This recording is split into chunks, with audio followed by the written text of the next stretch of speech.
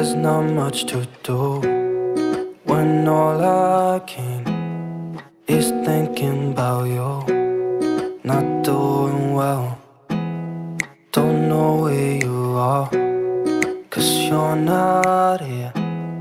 It's been way too long. If I could lay down beside you, I would, I would. That's all I wanna do. I hope that you are safe and that I will see you soon. If I could lay down beside you, I would, I would.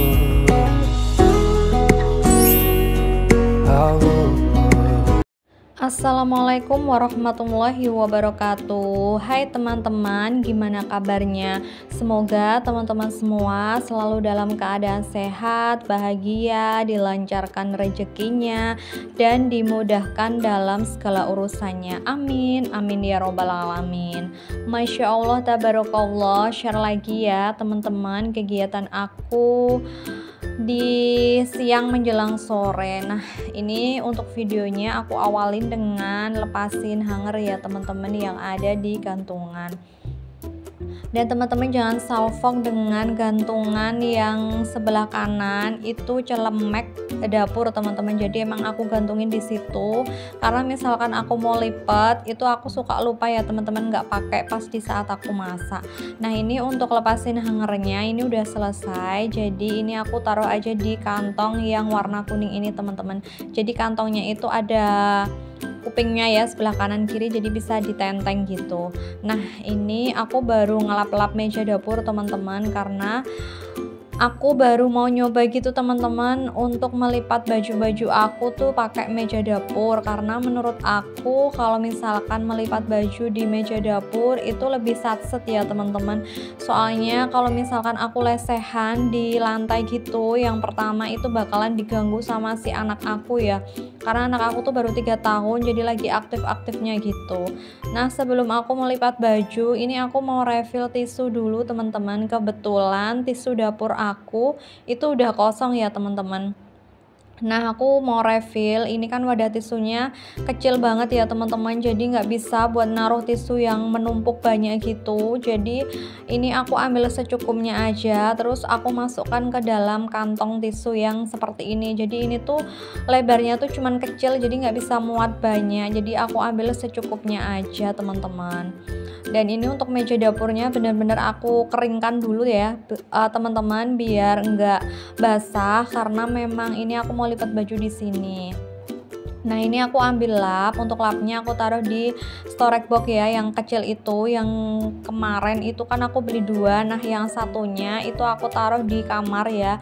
Yang di kamar itu tak pakai buat naruh peralatannya mandi sama bedaknya via gitu teman-teman. Nah ini aku mulai lipat baju aja di meja dapur karena di meja dapurnya itu kan udah kering ya nggak basah. Jadi ini udah aku bersihkan udah aman gitu ya buat naruh pakaian yang bersih kemarin-kemarin itu kalau aku lipat baju di lantai itu yang pertama memang diganggu sama Via. Terus kadang baju-baju aku yang udah aku lipetin kan biasanya aku jajar-jajar gitu ya teman-teman. Aku pilih yang celana aku sendiriin terus baju aku baju anak aku tuh kan biasanya kalau lipat baju emang aku sendirikan sendirikan seperti itu teman-teman. Nah kadang Via tuh lompat-lompat di atas baju yang udah aku lipat gitu teman-teman. Jadi kadang bajunya itu jadi berantakan dan kan kotor ya kan diinjek-injek gitu sama pakai kaki gitu. Jadi nah ini tuh aku nyoba inisiatif gitu ya. Aku nyuci eh kok nyuci sih? Aku lipat baju teman-teman. Ini aku lipat bajunya di meja dapur. Ternyata lebih satset ya teman-teman. Kalau lipat bajunya tuh berdiri soalnya aku memang orangnya tuh betah berdiri gitu teman-teman daripada duduk. Jadi kalau berdiri tuh menurut aku emang lebih satset ya. Jadi ngerjakan pekerjaan tuh lebih garcep aja daripada duduk. Nah ini untuk video lipat bajunya emang aku cepetin ya teman-teman ini dengan kecepatan 5 kali lipat. Coba ya teman-teman bisa secepat kilat ini ngerjain lipat baju pasti bakalan cepet kelar ya. Ini kan hanya efek di video aja aku cepetin biar teman-teman tuh nggak bosen ya. Karena kalau lipat baju kan ya cuman gini-gini aja. Jadi kadang ngebosenin makanya ini aku inisiatif gitu lipat bajunya di meja dapur dan ternyata memang benar-benar bisa satset ya teman-teman. Dan ini kemarin aku juga nyuci untuk sarung bantalnya anak aku tuh bener-bener udah bau gitu. Jadi aku tadi tuh cuci sebenarnya nggak boleh dicuci sama Via ya karena dikiranya tuh mau dikemanain gitu. Padahal itu tuh mau dicuci dan sekarang itu udah bersih Oh iya teman-teman, pas lagi lihat video aku, teman-teman lagi pada ngapain nih? Ataukah teman-teman tuh sama lagi lipat baju seperti aku? Ataukah teman-teman lagi beberes rumah? Ataukah teman-teman lagi santai aja nih? Bisa komen di bawah ya. Nah ini tuh aku di tengah-tengah aku lipat baju ya. Via tuh minta dibuatin sun. Nah ini aku udah selesai dan untuk lap-lap yang aku pakai lap di meja dapur Ini aku taruh aja di storage box ya yang kecil Yang warna putih ini teman-teman. Jadi di sini tuh lebih uh, simple gitu ya teman-teman. Kalau lap-lapnya tuh aku tata dan aku lipat berdiri seperti ini. Nah udah selesai ini aku tutup aja dan aku taruh di atas food container ya di atas storage box yang besar. Nah ini untuk baju-bajunya baru aku pilah-pilah gitu teman-teman. Jadi nanti tuh biar langsung dibawa gitu ya aku bawa ke kamar. Sekalian aku tuh nyusun bajunya yang udah aku lipat tuh di lemari biar nggak berantakan. Nah ini udah selesai ya lipat baju aku.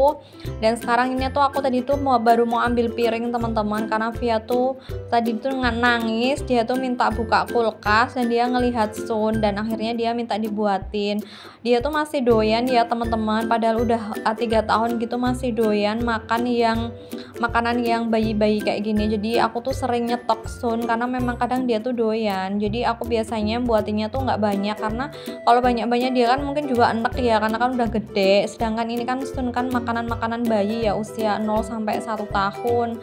Nah ini aku buatin aja sedikit biar nanti tuh dia makan sendiri dan Nah, ini aku tinggal beresin aja yang pakaian-pakaian yang udah aku lipat dan untuk lampu dapurnya aku matikan biar hemat listrik. Nah, lanjut aku mau nyusun dulu teman-teman tadi nyusun pakaian aku di lemari dan udah selesai cuman nggak aku videoin karena misalkan aku videoin nanti ndak durasinya tuh terlalu lama dan ini lanjut aja teman-teman. Ini kegiatan aku sehabis mandi ya. Jadi udah mandi sore gitu. Makanya ini aku udah ganti kostum karena aku udah mandi dan ini aku tuh masih ngurus ngurusin pakaian lagi teman-teman. Jadi memang pakaian tuh nggak ada habisnya ya teman-teman. Setiap hari tuh lipat baju nyuci baju setiap kayak gitu setiap kali seperti itu dan berulang-ulang. Dan setiap hari pun pakaian kotor itu mesti ada teman-teman. Nggak mungkin kalau nggak ada ya karena kan kita setiap hari juga ganti baju dan ini tadi tuh aku kan nyuci baju teman-teman. Biasanya kalau nyuci baju itu aku emang sore hari jadi aku sambil dengan beberes nyapu-nyapu yang dalam rumah gitu. Nah ini aku videoin aja pas aku lagi hangerin baju ya. Jadi udah selesai gitu muter dari mesin pengering dan ini baru aku hangerin semuanya. Aku hangerin di sini aja teman-teman. Jadi biar esok harinya tuh aku tinggal ngeluarin. Jadi kalau aku nyuci di sore hari atau malam hari paginya tuh aku agak longgar ya teman-teman waktunya. Karena memang kalau pagi tuh biasanya ribet ya ribet lagi nyiapin masak dan ribet ngurusin anak. Jadi biasanya emang aku nyuci di sore atau malam hari teman-teman. Menurut aku lebih efektif dan pagi harinya tuh nggak nggak belibet gitu teman-teman. Nah ini aku udah selesai. Alhamdulillah untuk cucian aku lumayan nggak banyak tapi memang harus dicuci setiap hari teman-teman. Dan lanjut juga ini kegiatan aku setelah selesai habis makan ya teman-teman. Jadi ini aku baru mau beresin piring kotor yang tadi aku habis makan sama suami makan malam gitu teman-teman. Jadi ini aku tag video itu udah habis maghrib ya. Nah ini untuk sampahnya aku buang aja di tempat sampah di balik dapur. Di situ emang aku taruh sampah ya karena memang sampahnya aku taruh di situ. Karena misalkan aku taruh di dalam dapur itu nanti tuh banyak semut terus ada banyak tikus juga teman-teman. Karena di rumah aku tuh lagi banyak banget tikus.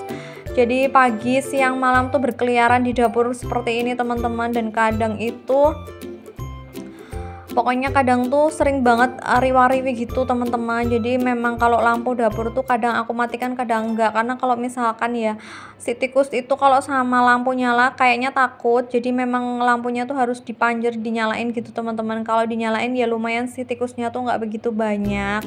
Nah ini aku lanjut aja ya beresin semua yang ada di tirisan. Jadi ini cucian aku yang udah bersih tinggal aku beresin aja di lemari sama yang di kolong dapur.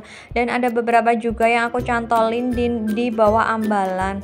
Nah ini sebenarnya belum kering banget teman-teman. Cuman aku mau ngelap-ngelap itu kok mager banget. Jadi cuman aku ketap-ketapin gitu biar airnya tuh udah hilang gitu ya teman-teman. Udah sedikit kering. Nah ini untuk lemarinya aku tutup karena aku udah selesai. Ini tinggal botol minumnya via aja. Lanjut juga setelah aku beresin cucian yang udah bersih aku lanjut nyuci ya teman-teman. Kalau untuk untuk nyuci piring nyuci yang ada di sink wastafel ini tuh aku sehari bisa 6 bahkan 8 kali teman-teman. Nggak mesti jarang banget nyuci sehari kok sekali karena memang cucian kotor itu emang selalu ada. Nggak tahu kenapa ya banyak banget. Setiap kali habis dicuci cucian kotor tuh datang lagi. Pokoknya setiap hari seperti itu berulang-ulang terus.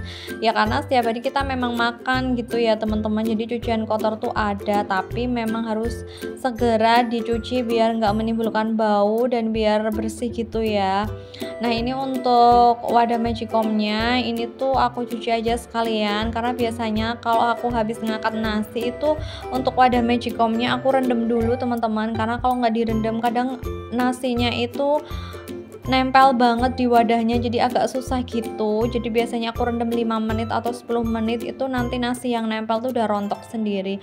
Nah untuk sing wastafelnya aku sikat-sikat aja dan untuk depan belakang untuk sing wastafelnya itu kan banyak cipratan air. Nah ini untuk cipratan airnya aku lap-lap aja biar bersih dan itu untuk saringan yang wastafel juga aku cuci setiap hari ya teman-teman biar bersih.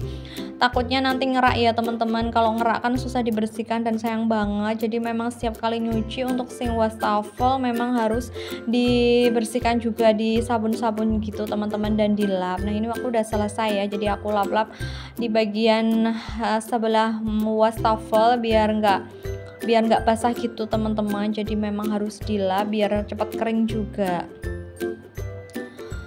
Nah setelah selesai ini aku mau ganti lap yang ada di dapur karena tadi tuh basah ya. Kalau misalkan habis dipakai ngelap itu cepat basahnya.